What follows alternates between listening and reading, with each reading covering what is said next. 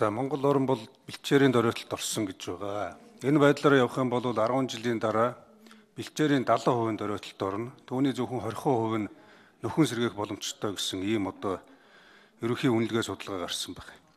Энэ юу хэлж байгаа нэхэр 10 жил 20 жилийн дараа бол хүн нэдэх, махгүй, мал нэдэх, өвсгүү, цүлжилт бэлчээрийн дөрөвтөл ургамалжилтын одоо бас асуудлууд хүндрэлтэй байдалд орноо. Тэгэхээр энэ зургийн гишүүний оруулж байгаа энэ саналыг дэмжиж байгаа. Яг нэг мөрчлөн зааж өгөх нь зүйтэй байгаад. Зарим газруудад судалгаа хийлгэж үзсэн. Жишээ нь одоо Багнуур Баганга Налаах гээд мал бүхий иргэд олонтой энэ газруудад бэлчээрийн судалгаа хийж үзсэн. Инхэд бол Баганга дүрэгт үндсэндээ 13% одоо бэлчээр ашиглах боломжтой гэдэг ийм дүгнэлт гарсан байна. За энэ дээр бол одоо мэдээж ургамжил ургамжилтын бэлчигэл хийсэн байгаа. Биомассын судалгаа авсан байна. За мөн одоо малчтаа судалгаа авсан, социологийн судалгаа авсан.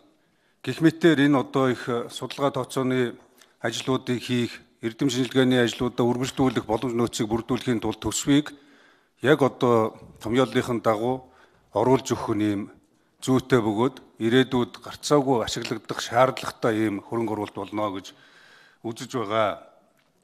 Ерэн зүгээр цаашлах юм бол мал аж ахуй эрдэм шинжилгээний хүрээлэнгийн энэ эрдэмтэн судлаачдыг оролцуулсан Монгол орны хэмжээнд бэлчээрийн доройтол ургамлын одоо энэ бас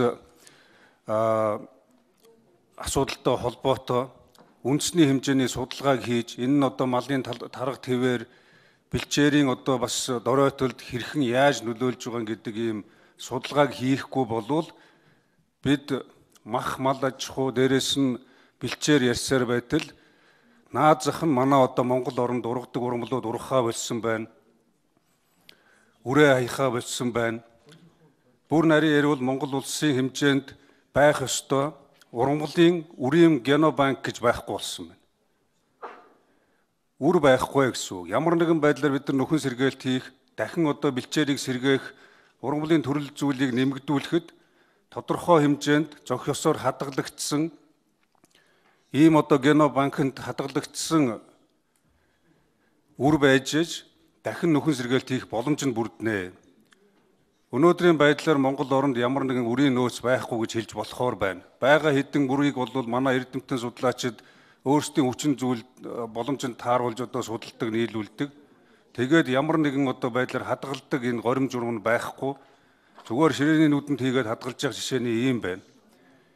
Тэм учраас сая ярьсан хэд хэдэн зүйлүүд дээр нэмээд нэг санал оруулахад үндэсний хэмжээний энэ одоо бэлчээрийн судалгаа тооцоог хийх ургамлжилтын төрөл зүйлийг одоо дахин судлах дөрөөтлийг дахин судлах эдийн засгийн үр нөлөөг нь одоо нарийн тооцох юм судалгаа хийх гэсэн ийм одоо үгсийг бас оруулах нь зүйтэй байхаа гэсэн саналтай байна.